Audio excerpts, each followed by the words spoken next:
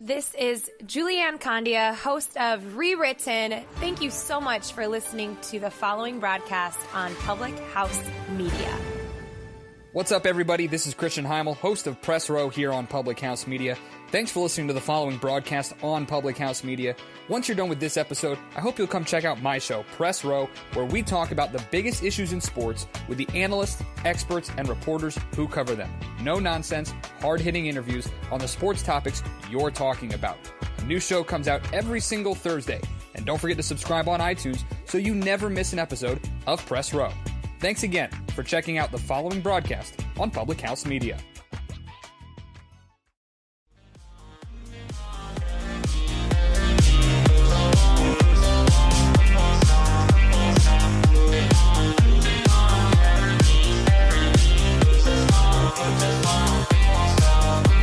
Welcome to Let Me Be Forward. A very good day to you. How are you doing, everybody? I'm Baxter Colburn, the host of Let Me Be Forward.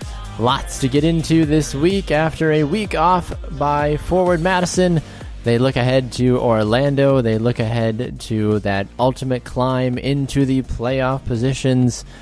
So much to talk about. How are we doing? How's your week been? Did you do anything fun on the week off? Did you catch some other soccer? Did you cry because there was no Forward Madison game to watch? Uh, whatever you did, I hope that you enjoyed it to the very best of your abilities. Two shows, uh, we were rather two guests, that's what I meant to say. Two guests on the show this week. Louis Bennett is here, the, the lone E out of Memphis 901. We got Oliver White last time. Now we've got Louis Bennett. Uh, of course, as you know, he is the son of famed Marquette University head coach Louis Bennett. So, like father, like son, we're here with Louis. He sits down with our own Madeline Kumm, and Daryl Shore is here as well to chat about his time on the golf course, his time uh, getting ready for Orlando, and much, much more. The show is available on Apple Podcasts, Spotify, however you find your podcast. Please listen and subscribe. Leave us a review. We'd love to have you check in and give us your thoughts about each and every episode of Let Me Be Forward. Coming up in the program, we've got some big news about the show to announce, so make sure you stick around. We're going to get to that in just a few minutes. If you do want to interact with the show, which many, many of you did on Twitter this last week, thank you for doing so. You can find us at Let Me Be Forward. I am at Baxter Colburn, and if you want to follow Maddie, she is at Maddie Kumm. Let's dive into the news and notes from around the soccer world.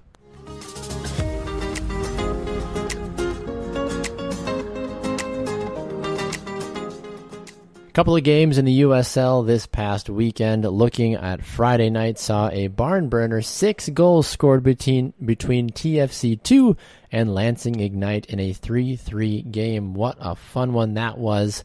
FC Tucson went out and got a big victory. They took down Greenville, who was actually looking like a good team for a couple of weeks.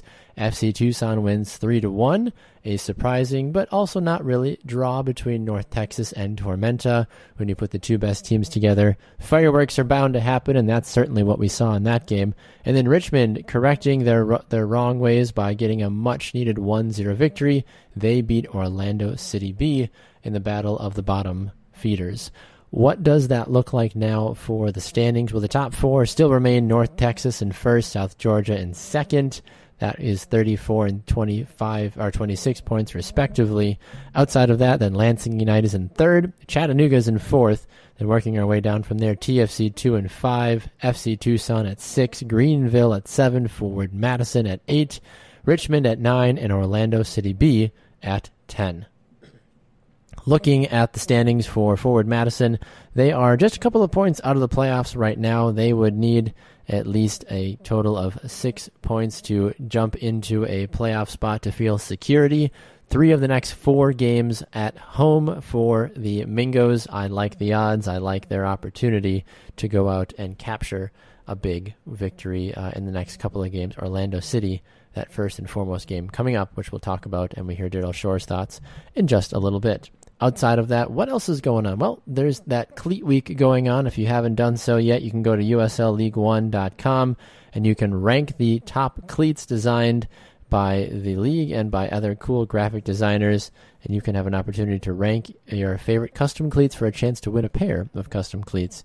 Uh, Chattanooga looks decent. FC Tucson, eh, it could be better. Forward Madison, they went with the black. I was a little shocked that they went with the black and not the pink route, but still looks good. Greenville looks absolutely horrendous. Lansing is pretty slick. North Texas, there's only so much you can do, honestly, let's be honest. Orlando City B is sweet. Richmond, they tried to do way too much. That looks awful. Tormenta is sweet. Uh, TFC2 is not too bad either, honestly. If you haven't done so, go over to USL League One to check out that information.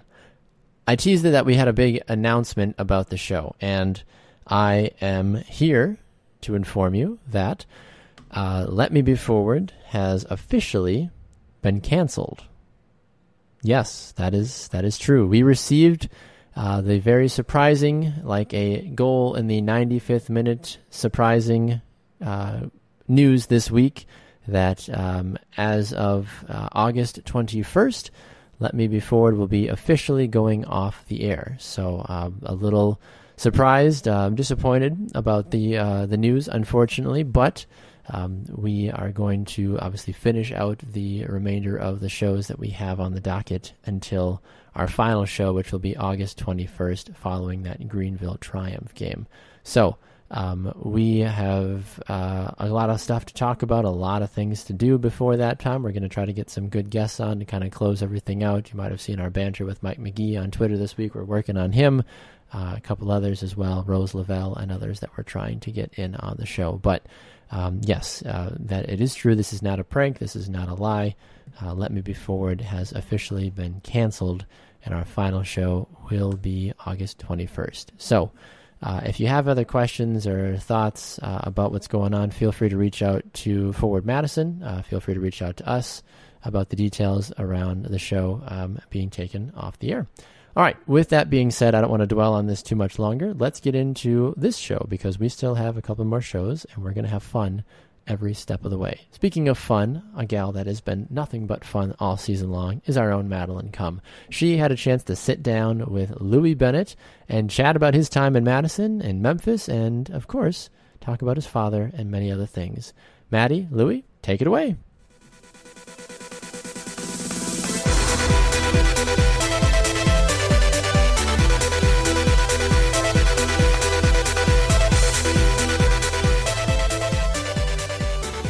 You're playing back home. You're from Wisconsin originally. I think fans here, especially, really rally behind players that are from Wisconsin.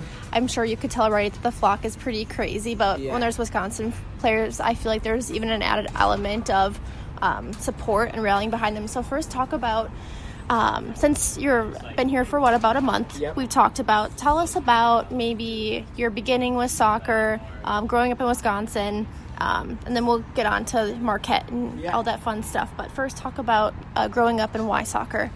Yeah. Um, I think growing up, especially in a soccer family, as you know, my dad coaching, um, a lot of my friends playing, and growing up, I played for the Bavarian Bavarian Soccer Club, um, which was you know run as a traditional German club.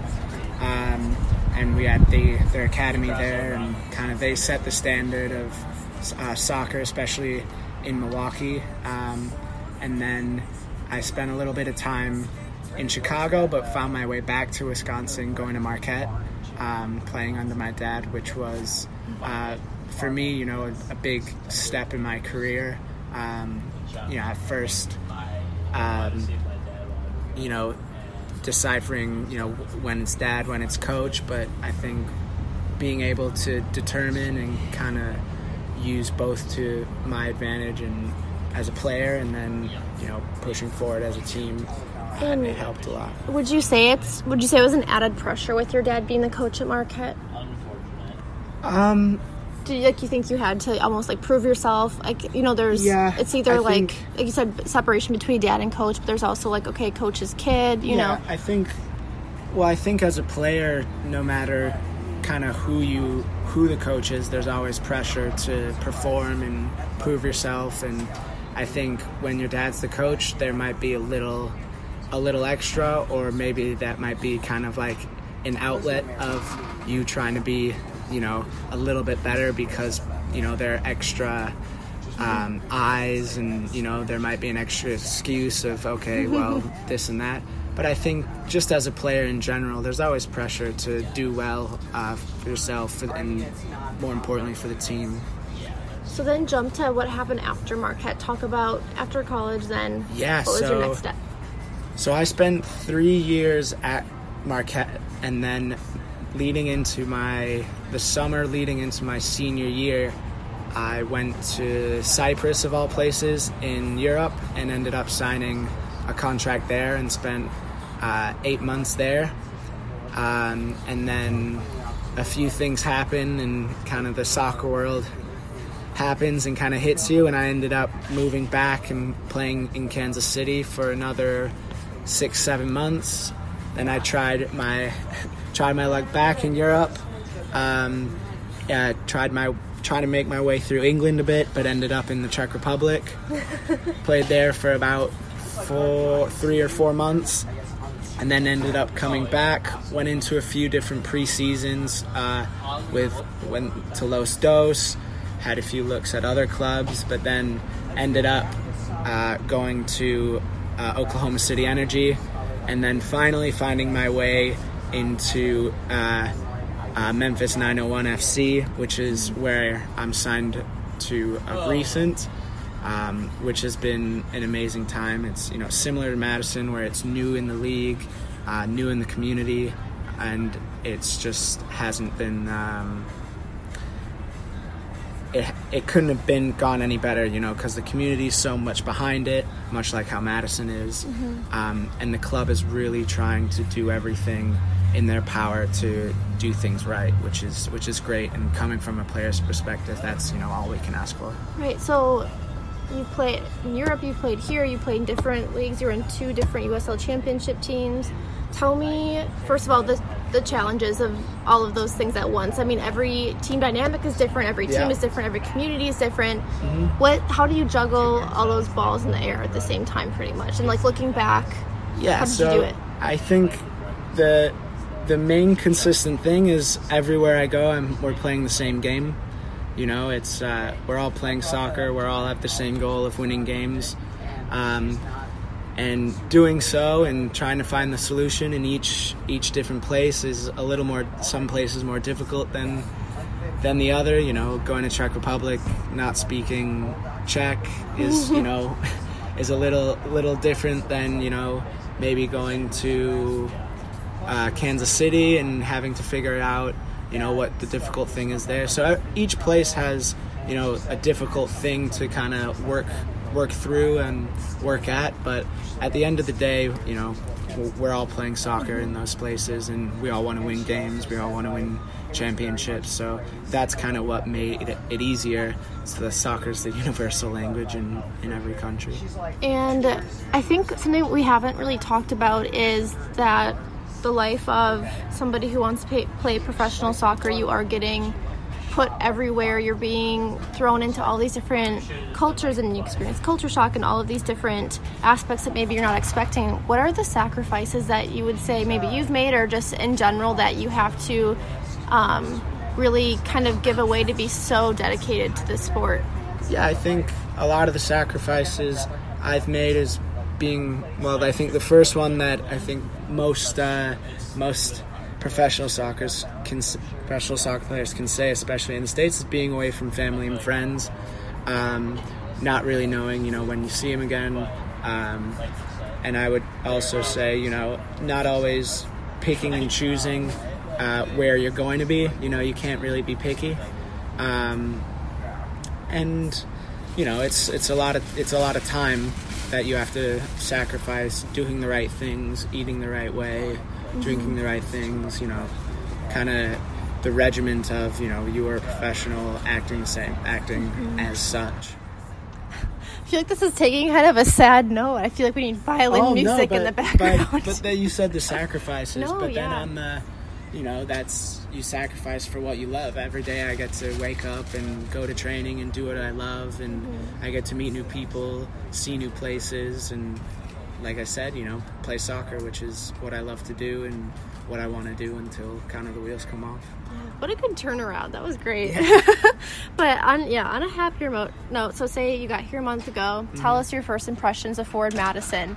Um, I think the community has been unbelievable, uh, supporting the club, kind of doing all they can to bring energy to games, uh, to give the players even more uh, something to play for. Um, I think Peter has done an unbelievable job of um, developing the club and putting the club in a situation where we are the best attendance, we are the best, I think, soccer culture in the league. And it's a place where people want to come to play forward Madison and it's a place where other teams don't really want to come. so he's made he's made a culture and the community, I should say, has uh, developed a culture where it's it's really amazing for the players to see, for the coaching staff to see, and it really kind of makes us work work even even that much harder during training, so that when the game comes, we can really get those three points and give the fans really what they deserve something that is truly incredible and it's unmatched. Um, like you said about people coming here, and I think um, when other teams come here, they're a little bit nervous just because they're a little bit shocked at right. all of the craziness that ensues. But wrapping up here, you play Orlando City B Saturday. Mm-hmm. What can fans expect to see at this game? They can expect to see good soccer going forward. Um, they can expect to see uh, an organized defensive line uh, to stop them from playing. Um, and they can expect to see, especially in the final third, creativity and uh, giving us giving them something fun to watch. You know, entertaining football, especially going forward. That's a that's exciting. Everyone's going to. Everyone is just. I'm gonna pause this for. All right, that does it for this week's player interview. Thanks so much for being here, Baxter. Back to you.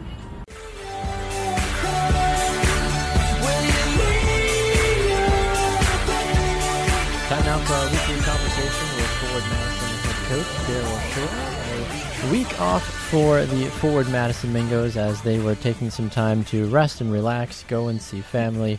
So no games to report about, but uh, we do have a game to look forward to with Orlando City coming up. But first and foremost, we welcome in head coach Daryl Shore. Daryl, good to see you again, sir. How are you today? Baxter, doing well. How are you doing today?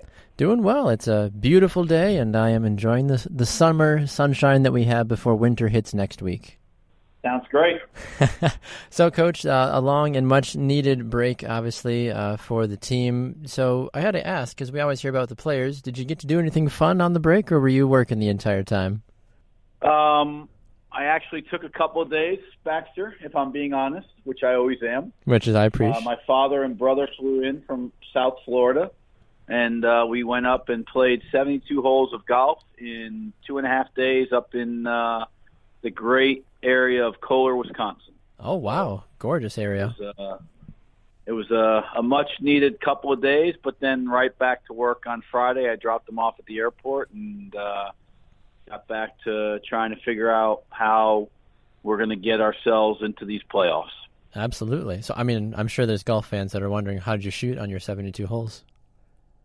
Um, as most golf fans are probably familiar with, uh, being up in Kohler, uh, I hit the ball very well, uh, but I was not very happy with my scoring. Fair enough. Uh, but I did, but I did keep it in the 80s um, for three of the four rounds. Well, that's good.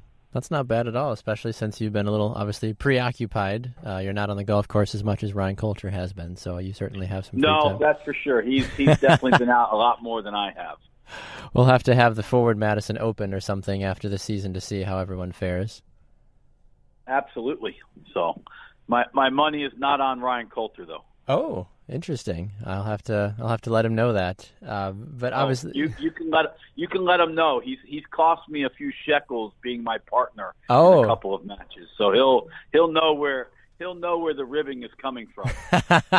okay, fair enough. That's uh, well, obviously, it sounds like there's uh, some great stories there that need to be shared at some point, but. Uh, I know we uh, I know we need to talk about Orlando as well. Um, of course, a familiar opponent that you get at home, and uh, I'm I'm curious from your perspective, what do you feel like are the specific parts of Orlando that you need to look to exploit, especially since you've added a couple of loanee offensive weapons these last couple of weeks as well? Yeah, I mean, when, when you talk about Orlando, you know, you, you always have to talk about um, their they're still dangerous uh, with their attacking players, and uh, you know Thiago Suaza is still a, a really uh, interesting player going forward, and then Rafael Santos, who they just added, uh, is a, a kid who really is very good on the ball, can shoot from distance, as we found out, and um, are really good attacking players. So we've got to against them. Um, you know, we've got to make sure that we're aware of their key players, but at the same time, being at home, we've really got to put their their back group under pressure, and, mm-hmm. and we feel like uh, you know they're going to come now play in, in an environment that they're not used to. Uh, so we're hoping it's a little bit similar to when North Texas came here the first time. Uh, they've got a young team. Um, you know, their record uh, doesn't speak for some of the talent that they have on their team. But this is a game where we've got to, from the opening whistle, really have to be on the front foot. And it's a game where we have to put them under as much pressure as we can and, and really get after them from the get go. And I think that's obviously going to be the important part. We've seen the last couple of times at home where the offense has been jiving and you've scored some goals. So the you know nervous that we saw in the beginning of the season, I think, or the the inability at times to put the ball in the back of the net certainly seemed to be gone. And I think some of that actually has helped with the fact that you've had um, a couple of friendly matches as well. I wanna I want to get your perspective on this because you had four very different friendly matches during the season. Obviously, you played Green Bay, and then you had some international opponents as well. But from your perspective, how do you exactly put any sort of stock in those games? Is it more of an evaluation tool? I know it's obviously for the fans as well, and we've had that discussion before, mm-hmm. but especially in the middle of the season when you're trying to push for a playoff spot, how did you view those friendlies and how were they helpful uh, for where you're trying to go, obviously, at the re- end of the season? Yeah, I mean, the, the last one, you know, against uh, Leones Negros is a great opportunity for us to – know that we were going on a break, but it was a great opportunity for us to give some guys some minutes who hadn't been playing uh, quite quite as much as they would have liked to. But it also now gives us a, a chance to, like you said, evaluate these players and now try and figure out which guys it is that we're going to be able to count on going into the stretch run here. Um, but it was also, uh, again, another opportunity for our players to be seen. We tell them whenever you play an exhibition game, and especially the three exhibition games that we played at home, there's always somebody watching you. And so now here's a chance for you to be seen. And, again, the quality of our opponents were all uh, very good quality to where uh, you know they're allowed to to be seen in their best moments. So uh, obviously, three different opponents, two first division clubs from their respective countries, and then uh, you know Udahe um, being a second division club, but still one with a, a storied past and and uh, you know a, a salary cap that's uh, well above ours. So uh, a chance for our guys to go out there and, and put their their best foot forward, but also a chance for us to work on a few things that we need to fine tune going into the last part of the season and able to get in this last game, Leones Negros were able to get everybody 45 minutes with the exception of Oliver, who was uh, nursing a little bit of a quad injury. And then Ali was up with uh, Minnesota United uh, as he played in the game the next night against uh, West Ham. So uh, just a good opportunity for us to see our guys and, and for them to get another run before we took this little break and now prepare for the final 12 games. Absolutely. And you talk about through preparing and you talk about, you know, lessons learned. And I'm sure as you and your staff have been going through the course of the playoff push coming, you've probably looked back at the, the beginning of the season.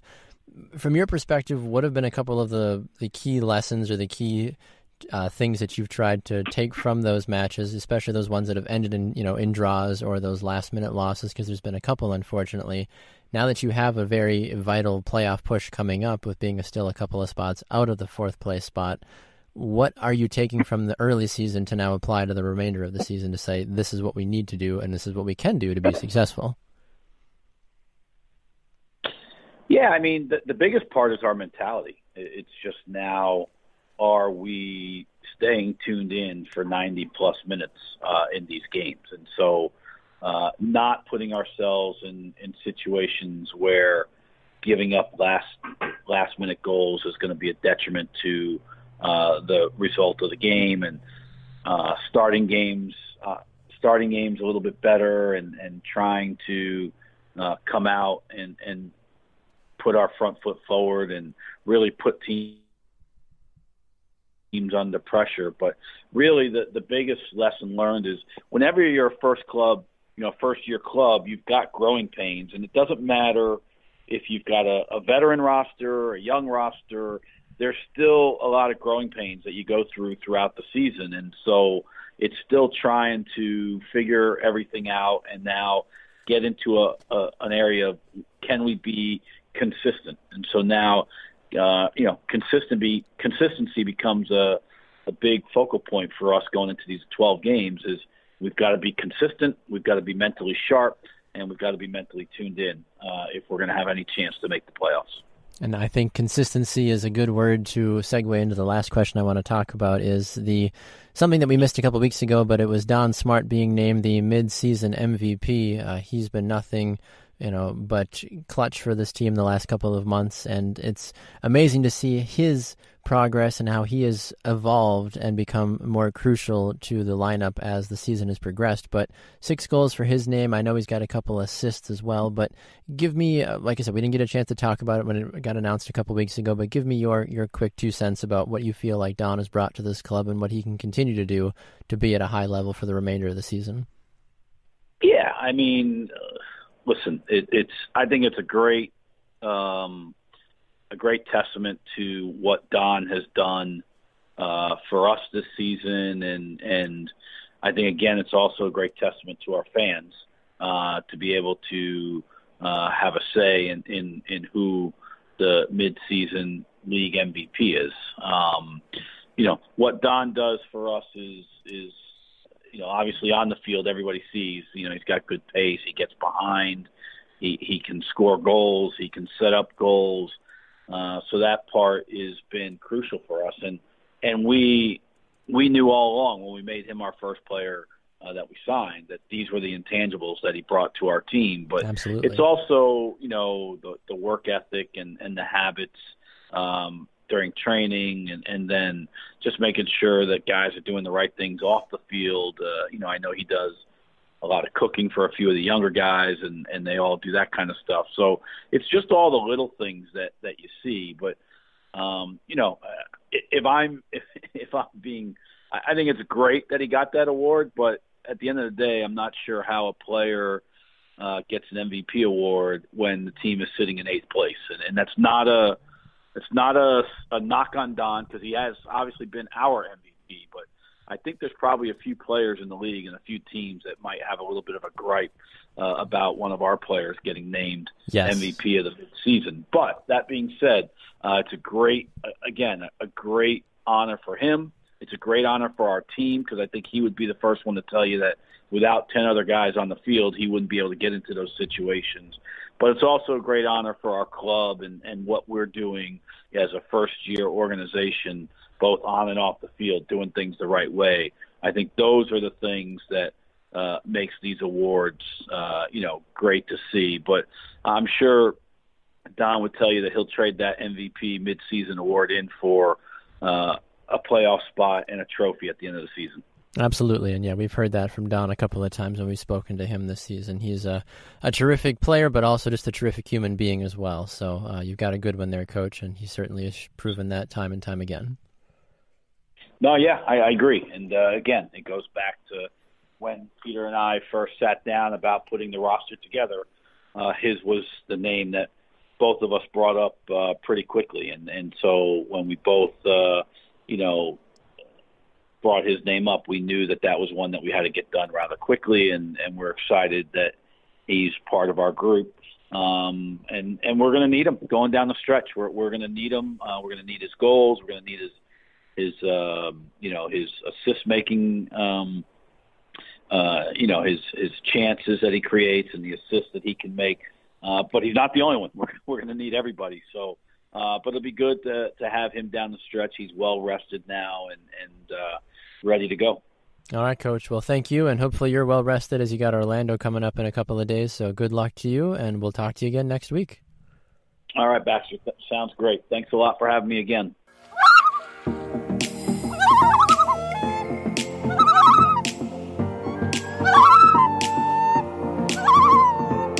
Time now for the Loon Report, your weekly look inside Forward Madison Partner Club, Minnesota United. Some big news coming out of Minnesota this week as they have signed a new player, a veteran French left back, Wilfried Moyambi, and I apologize if I butchered that. Uh, he uh, played for League Side 2 AS Nancy. Uh, the club announced uh, that he has officially been signed. Uh, they are excited because they've added an experienced left back that will, uh, of course, bring some extra fine tuned defense to the Loons back line that has been dealing with some injuries throughout the season. And of course, it will be good to get some more veteran presence at the back line as the season progresses and the Loons look to make that deep playoff push. Outside of that, what took place for for, uh, for uh, Minnesota United this last week? They have a 1-1 draw against Real Salt Lake. That game back on Saturday, July the 20th. Goals scored by Dar- Darwin Quintero in the 57th minute, and then Marcelo Silva in the 70th minute for RSL. Big game for RSL as they were able to go and get a point. And, you know, honestly, it was a game that Minnesota United uh, could have put away, but the uh, RSL did a great job of keeping the pressure on and ultimately getting that tying goal that keeps them now still uh, in the playoff race and they sit in the seventh spot in the Western Conference standings. Minnesota United sitting in fourth place with 34 points. Still not the greatest record on the road, 4 6 and 1, but they are getting the job done and they are trying to hold on to a top four spot. Only three points out of second place. So if they get a victory in the next couple of matches, that could certainly alter what things might look like for them moving forward. Speaking of the next couple of matches, who does Minnesota United play in their next match? Well, they take on Vancouver on the 27th. That game up uh, in Vancouver. That will be a uh, 7 p.m. game, rather. I'm sorry, that will be at uh, Allianz Field. So apologies on that. I apparently don't know how to read but that is a 7 p.m. Central Time. The last couple matches, Minnesota got a 3 2 victory back on March the 2nd when they faced Vancouver during the 2019 regular season. That's this week's edition of the Loon Report, your weekly look inside Forward Madison Partner Club, Minnesota United.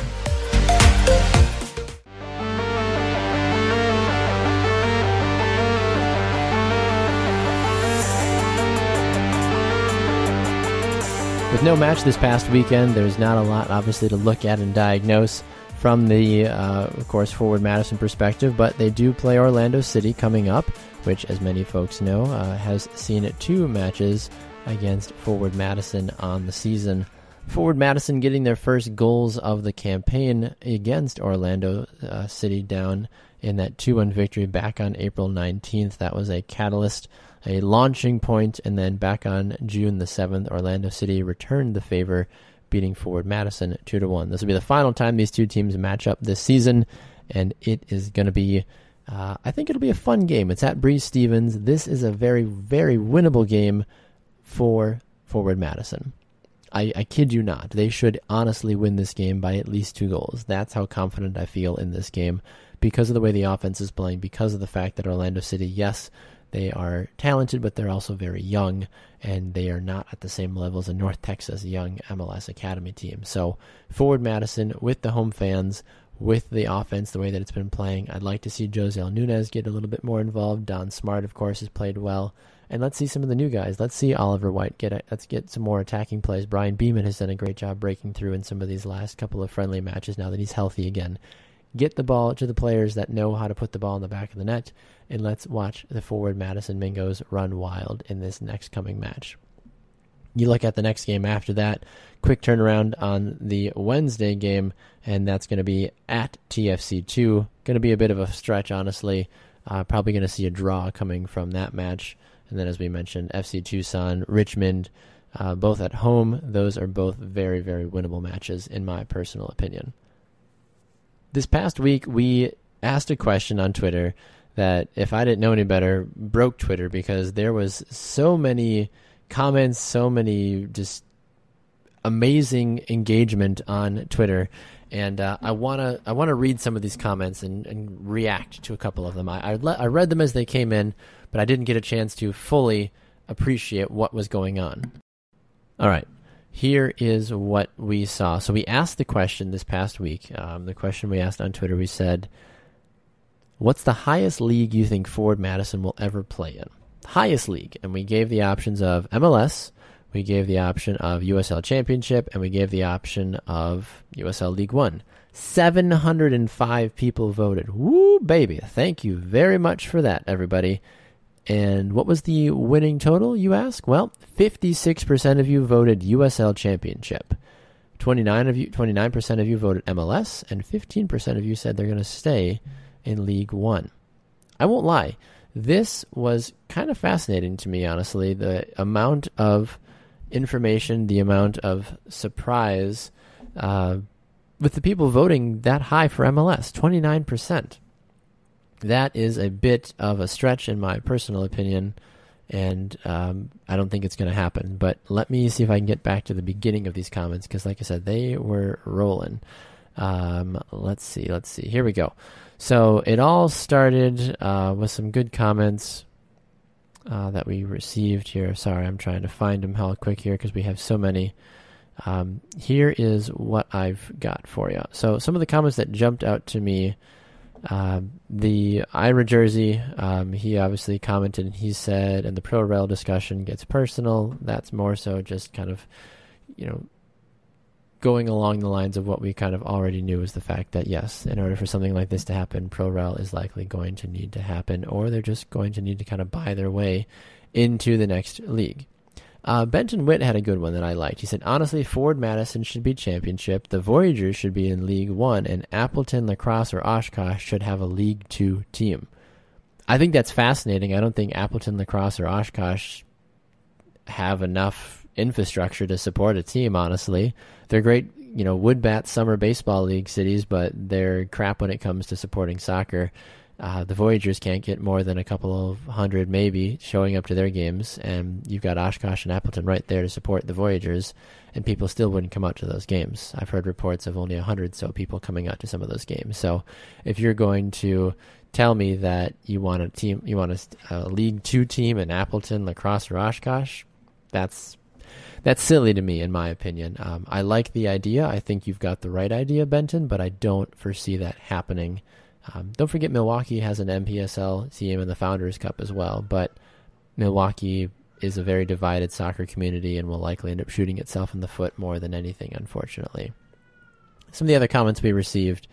Uh, Ian said, as they're currently established, I think Madison could be USL Championship. It'd take a serious investment in the team, stadium, uh, in, in, in, general, but the romantic in me would love to see them in MLS. Yep, I agree, Ian. It's likely not going to happen.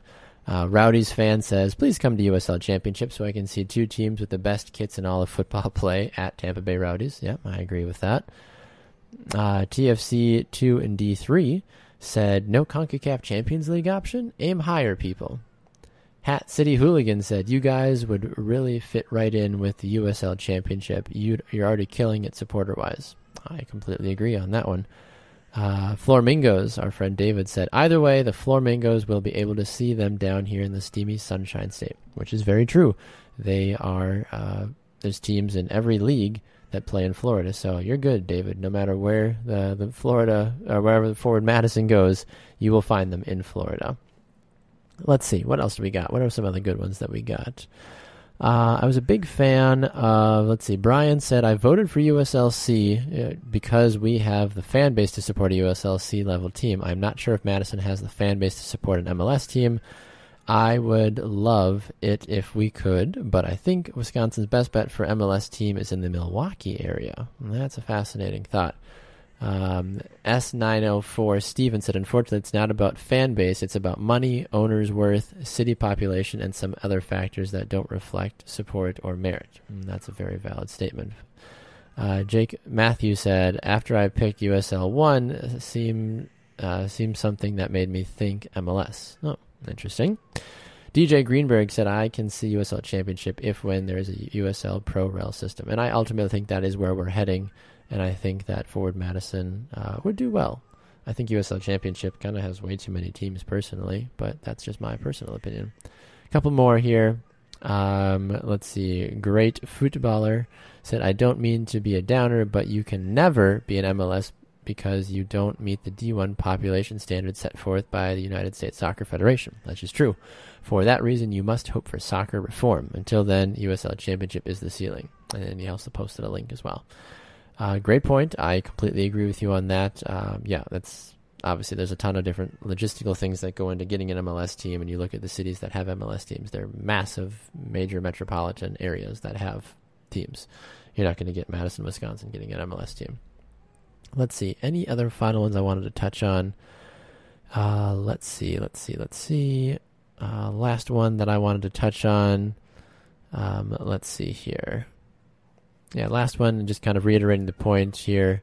Um, great footballer also said, doesn't really matter what Forward Madison's hopes and dreams are or how much money they have. They won't be getting into D1, MLS, maybe not even D2 because of the hashtag PLS. We need soccer reform in this country. Hashtag US free form. So obviously, great footballer is out there trying to provide some information. He is over at the uh, 423 Soccer Pod if you want to follow that show as well.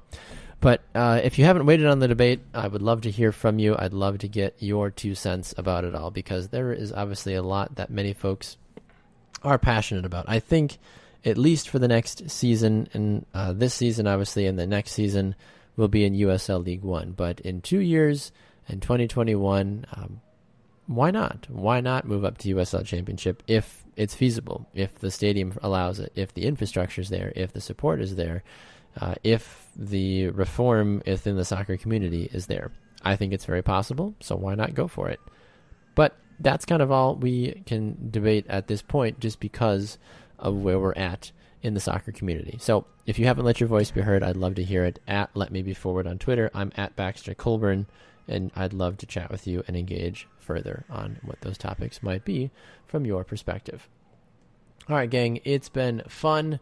It's been adventurous. Uh, it has been one for the ages, as it always is. As we wrap up another edition of Let Me Be Forward, a special thanks to Louis Bennett and Daryl Shore for stopping by the program this week as Louis sat down with our very own Madeline Kumm. Find her on social media at Maddie Kumm, M A D D I E K U M M. I am at Baxter Colburn, and you can find the show at Let Me Be Forward. If it's not already done so, go and subscribe to the show or listen to old episodes, review us on Apple Podcasts, Spotify, however you find your shows. I'd love it if you did that. That'd be amazing. For more information about our presenting sponsor, Public House Media, head over to their website, publichousemedia.org. I'm Baxter Colburn signing off for another episode of Let Me Be Forward. We'll see you next week.